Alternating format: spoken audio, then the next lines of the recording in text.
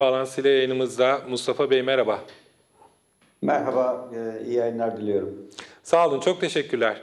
E, Mustafa Bey, sizi Milli Eğitim Bakanı Yusuf Tekin'i konuşmak için davet ettik bugün yayına. Şimdi Özgür Özel diyor ki e, ona yanıt verirken, sen diyor nasıl profesör oldun diyor. Yani doçentlikte beklemen gereken süreyi tamamladın mı diyor. 5 yıl değil mi? 5 yıl beklemek evet. gerekiyor doçentlikte evet. profesör olabilmek için. Sonra e, profesör olmak için doçentlik e, gereklerini, doçent olmanın gereklerini tekrar karşılıyor olmak gerekiyor.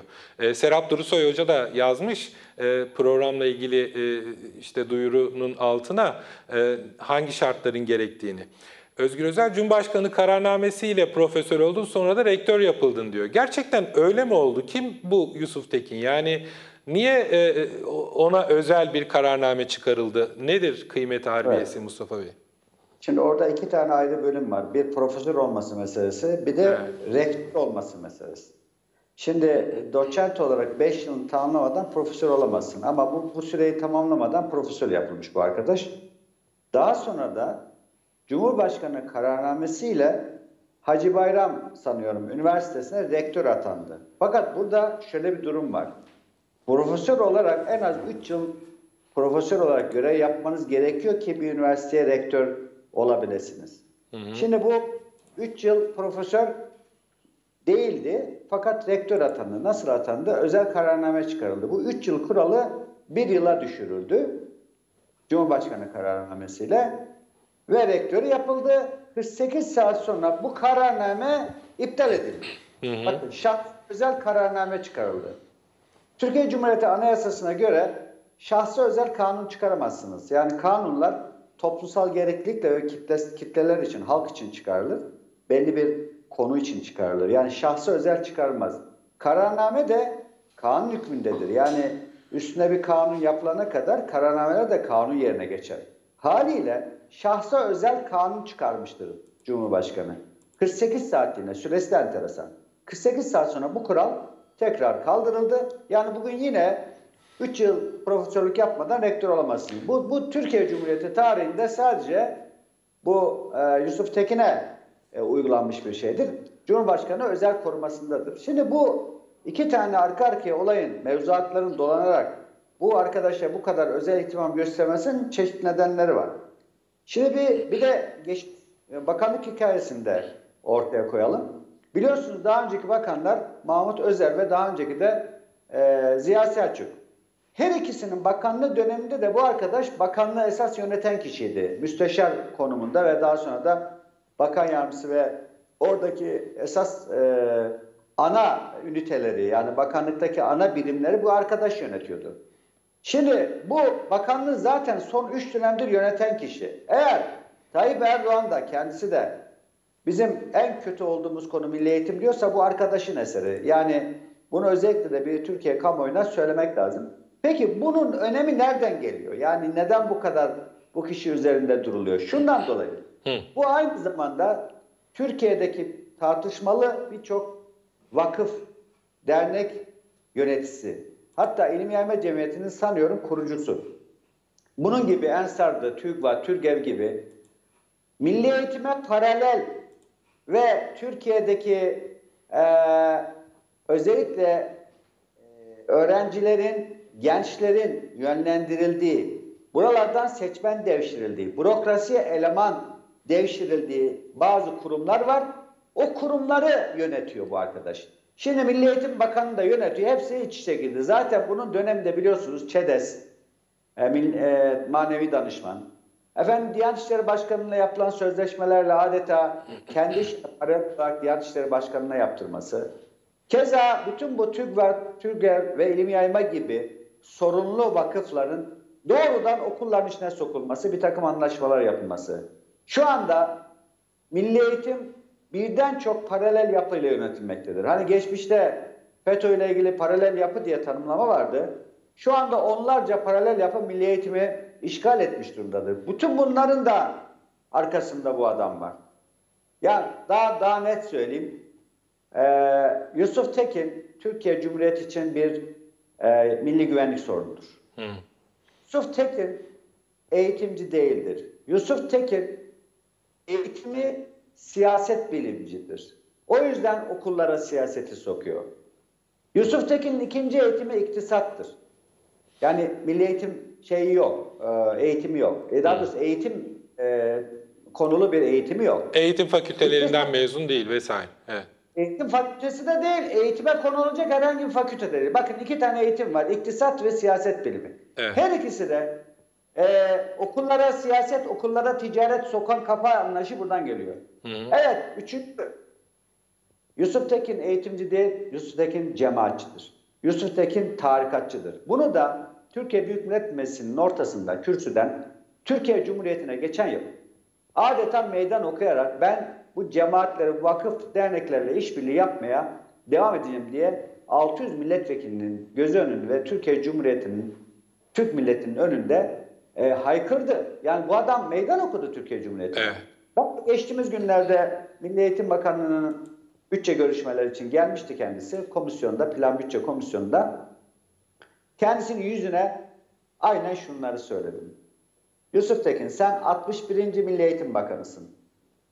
Bu bulunduğun makam Hamdullah Supi Tanrıöverlerin, Mustafa Necatilerin eee, bulunduğu makamlar. Birçok belki hani farklı siyasi partilerden en sağdan en sola kadar birçok bakan geldi geçti buradan. Eee, fakat e, Hasan Ali Yüceller geçti. Her birisinin Cumhuriyet aydınlanmasına ve milli eğitime bir tuğla da olsa katkısı olmuştur. Muhakkak olmuştur. Fakat siz bütün bunların tam tersine siz bir karşı devrimcisiniz.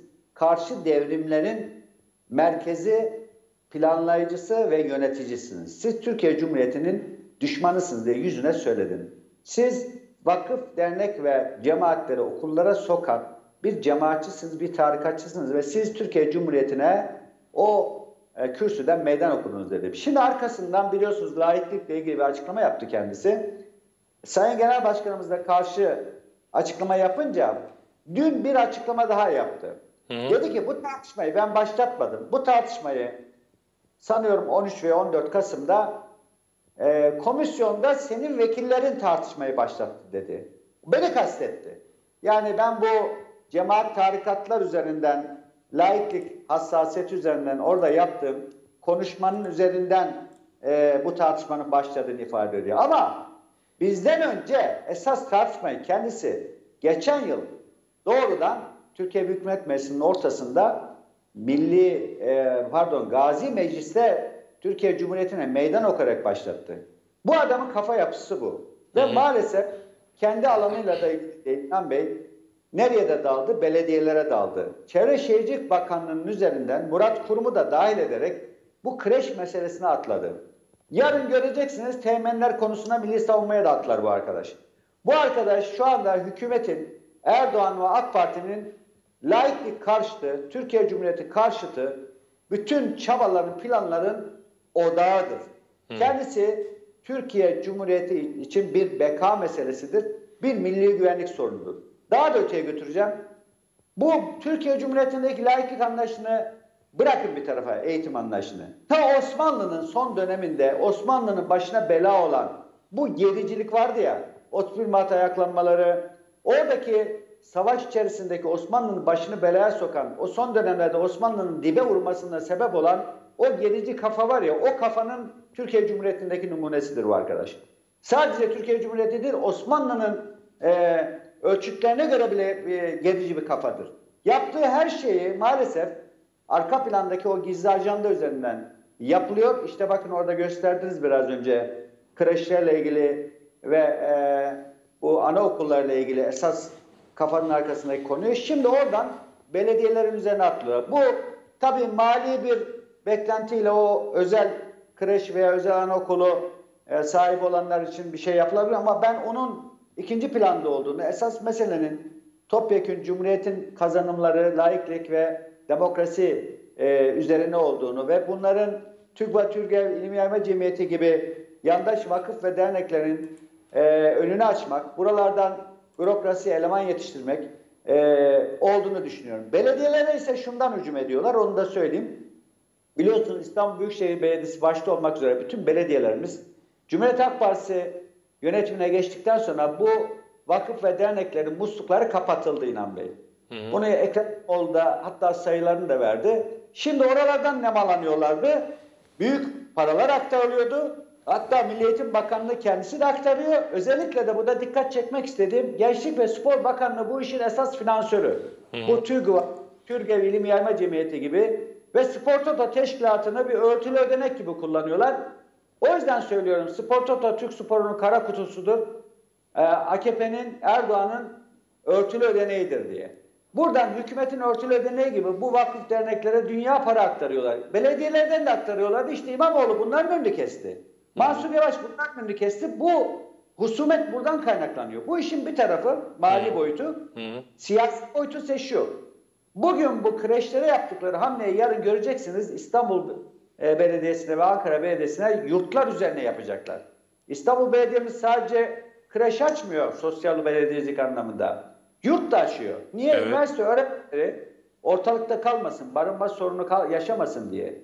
Hükümet yapmıyor özellikle. Yusuf Tekin, Gençlik Spor Bakanlığı yapmıyor. Niye? Bu çocuklar ortada kalsın, gitsin vakıf, dernek, cemaat yurtlarına, onların eline düşsün isteniyor. Mecbur kalsın. Mecbur kalsın istiyor. Şimdi Ekrem İmamoğlu da ortalıkta kalmasın bu çocuklara sahip çıkalım diye yurt açıyor ya. İşte bu ona engel oluyor. Şimdi bugün kreşlere hücum edenler yarın yurtlara hücum edecekler. Yani bunlar Türk çocuklarına, Türk gençlerine sahip çıkılsın istemiyor. Esasen bakarsanız bu görevler kimin görevi?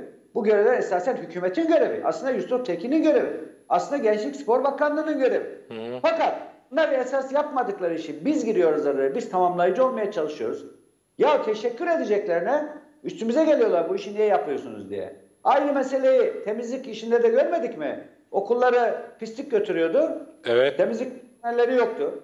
Daha da kötüsünü söyleyeyim. Ben Milli Eğitim Komisyonu'nda olduğum için bunları yıllardır Milli Eğitim Bakanlarına söylüyorum. Tuvalete gidecek ya küçük çocuk. Evet. Mesela öncesi çocuk. Kız çocuğunu erkek personel götüremiyor. Kadın personel yok, öğretmeni götürüyor. Veya hiç personel yok. Ya her okulda bir tane kadın, bir tane erkek personel olmak zorunda. Ya sen bunu sağlayamamışsın. Sen okullarda öğrencilerin bir öğün yemeğini verememişsin. Ankara Ee, Büyükşehir Belediyesi ekiplerinin e, okullar temizlenemediği için ekip gönderip temizlemesini de engellemişin. Yapıyorsun. Evet yani bu diyorum ya engellemeye çalışıyor. Yusuf Tekin Büyükşehir Belediyesi'nin kreşleriyle uğraşacağını, yurtlarla uğraşacağını gitsin çocuklara bir öğün yemek nasıl verebilirim ondan uğraşsın. Niye biliyor Evet. musunuz? Ben hekim olarak söylüyorum. Siz beni e, milli eğitimci dediniz ama tabii ki tıp, tıp bilimi de e, aslında üstte eğitimi şeklinde geliştirdi. E, bütün tıp doktorları da birer eğitimcidir. Ben aynı zamanda Milli Eğitim Komisyonu üyesiyim. Belki onu demek Evet ondan evet karıştırmışım kusura bakmayın. Sizin doktor olduğunuzu biliyorum aslında da bir an aklımdan Evet, çıkmış doğru. Tıp doktoru olarak şunu da söyleyeceğim. Bir bir yayını söyleyeceğim. Türk çocukları uluslararası standartlarda daha önceki bulundukları yerden boy kısalığı olarak AKP döneminde boy kısalığı gelişmeye başladı. Beslenme yetersizliği. Çocuk yoksulluğunda burayı da dikkat edin. Dünya ikincisiyiz. Costa Rica'dan sonra ikinci sıradayız. Yusuf Tekin biraz buralara kafa yorsun. Yusuf Tekin kendisinden bir önceki Mahmut Özer'in en azından anaokuluna verdiği bir öğün yemeği en azından onlara veya ilkokuldaki çocuklara verebilmeyi öğrensin. Şu anda her üç çocuktan biri yatağa aç giriyor. Her beş çocuktan biri en az bir öğününü atlıyor okullarda. Evet. Yusuf Tekin, sen bu işlere bak. Öbür işleri bırak belediyelerimizin de önünü kapatmaya çalışma. Bunu sen zaten yapman mümkün değil de e, sadece kendini ifşa ediyorsun. Evet. E, ne bunu Türk kamuoyuna gösteriyorsun? E, o kadar söyleyeceğim. Peki. Mustafa Adı Güzel, e, tıp doktoru, Cumhuriyet Halk Partisi milletvekili ve Milli e, Eğitim Komisyonu, Meclis Milli Eğitim Komisyonu üyesi aynı zamanda. Çok teşekkürler yayına katıldığınız için. Sağ olun. İyi yayınlar diliyorum. Sağ olun. Asıl meselenin sonuna geldik biz de. Böylelikle yarın saat 14'te